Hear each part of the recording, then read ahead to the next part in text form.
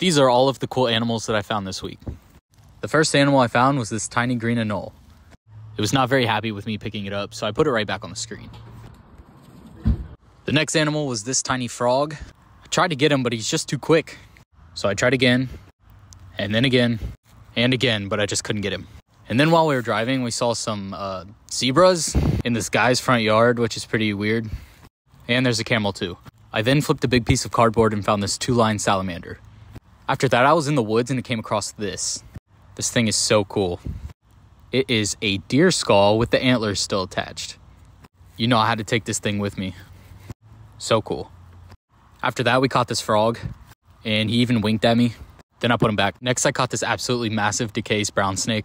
This guy is completely harmless and he eats things like earthworms and slugs. I think they're pretty cool. And lastly, I caught this toad. He didn't seem too happy that I was holding him. So I let him go and sent him on his way.